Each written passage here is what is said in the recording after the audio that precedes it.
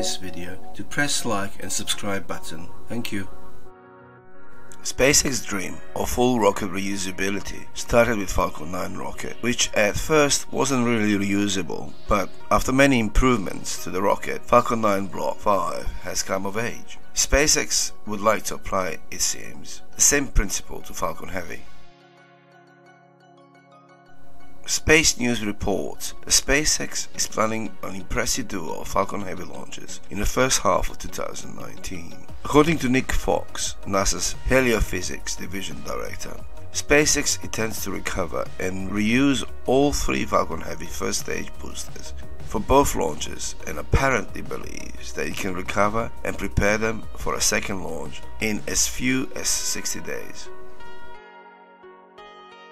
Following the highly successful February 2018 launch debut, SpaceX has targeted the launch of commercial satellites Arabsat 6A and the US Air Force Space Test Program in the second half of 2018, a schedule that has now moved to early 2019.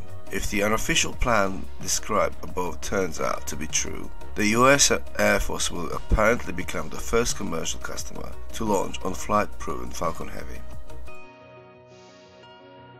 Whether or not this official unconfirmed information is correct, it certainly sounds like just a thing that CEO Elon Musk might challenge SpaceX to pull off. Not to mention the fact that this would place the US Air Force in a situation requiring to become the first commercial customer to launch on a flight-proven Falcon Heavy. However, US Air Force is really keen on the payloads reaching orbit, and for these reasons they always use new rockets for which they pay above market rate as its national security launch. No idea if US Air Force will let SpaceX launch reused Falcon Heavy. Time will tell. Scheduled for 22nd of December launch, US Air Force first next generation GPS satellite GPS-3 SV-01 was delayed and Air Force was jittery about reusing all the Falcon 9 Block 5 launcher for this mission. The Air Force implied they would be extremely uncertain about using all the proven Falcon 9 rocket for national security launches.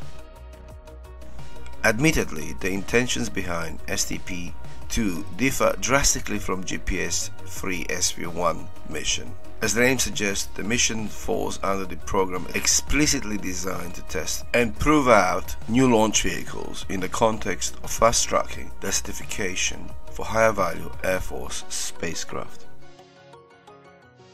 Falcon 9 could almost certainly launch STP-2 mission in a reusable configuration, but the US Air Force chose Falcon Heavy and included literal dead weight because the military branch is very interested in rocket potential, utility for more serious national security space missions.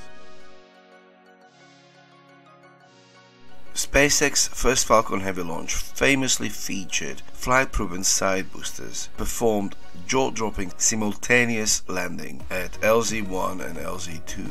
Chances are good that Falcon Heavy Flight 2 and 3 will both feature additional attempts at simultaneous LZ booster landings. If SpaceX can find a way to launch Falcon Heavy twice in barely two months while still using all three first stage boosters, it is hard to imagine a better way to demonstrate the economic and technological viability of both Falcon Heavy and Block 5 reusability upgrades.